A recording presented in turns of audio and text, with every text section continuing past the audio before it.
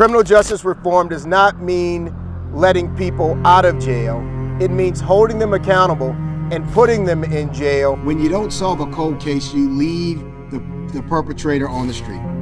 Has she left like this before? Never. That's what. That's And it's not common for her to be gone like late at night? never. Not especially since my daughter got out of the hospital. Jessica wasn't just trash that was thrown away. The fact that you have no idea what's going on is absurd. So I put in there, you know, I'm like, would, would you think I would hurt her or something?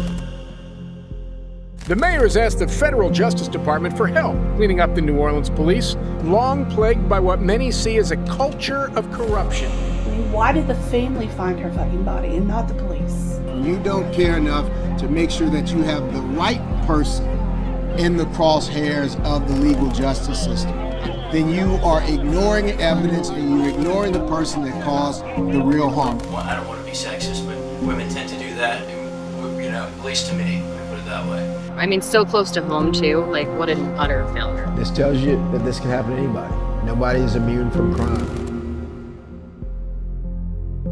Justice to me is being in a courtroom and the person who did this to my sister, the judge says guilty.